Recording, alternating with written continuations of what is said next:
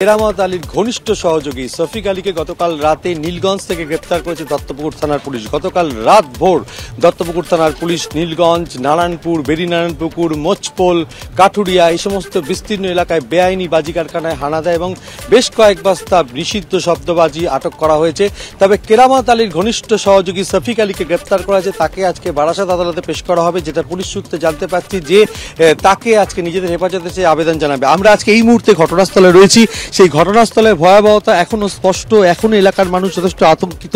যে বাড়িতে আমরা দাঁড়িয়েছি ঠিক তার উল্টো দিকের বাড়িতে বিস্ফোরণ হয়েছে।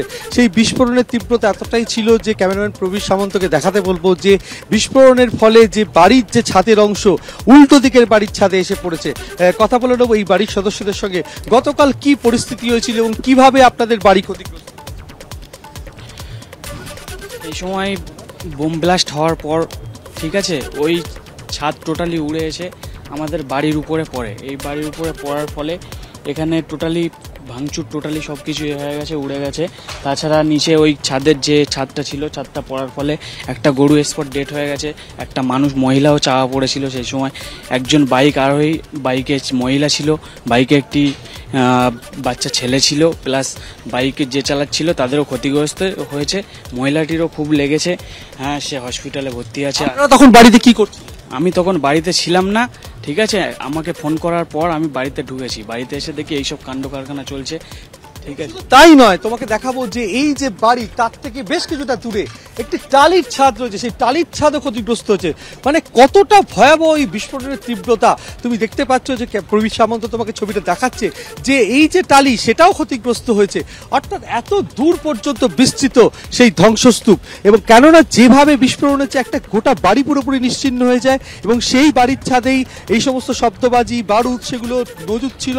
এবং সেই সময় যখন বাজি ফিনিশিং করা হচ্ছিল, কিছু মোড়কে মোড়া হচ্ছিল, তখনই আচমকা বিস্ফোরণ। আর এই বিস্ফোরণের ফলে যেই যে বাড়ির যে সামনে যে অংশটি পুলিশের পক্ষ থেকে ঘিরে রাখা হয়েছে, এই বাড়িটি পুরোপুরি ধুলিস্বাত হয়ে গেছে, একেবারে মাটিতে মিশে গেছে বলা যায়। এবং তার লাগো অর্থাৎ সাইফুল আলী যে নিচের বাড়ি, সেই বাড়ির সামনের অংশটি ক্ষতি, পুরো বাড়িটাই ক্ষতিগ্রস্ত। বাড়ির সমস্ত আসবাবপত্র, গতকাল আমরা গেছিলাম যখন ঘটনাস্থলে, তখন সেই ছবিটা স্পষ্ট হয়ে ওঠে।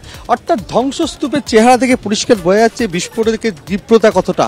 এবং সেই কারণে কি ধরনের বিস্ফোরক ছিল সেটাই পুলিশের তরফ থেকে তদন্ত করে দেখা হবে এবং গতকাল রাত ভোর নীলগঞ্জ এবং বিভিন্ন জায়গায় দত্তপুকুর থানার পুলিশ তল্লাশি চালায় এবং শফিক আলী, কেরামত আলীর ঘনিষ্ঠ সহযোগী এবং অন্যতম প্রধান অভিযুক্ত সাইফুল আলী তিনি এখন মৃত্যুর সঙ্গে পাঞ্জা লড়ছেন।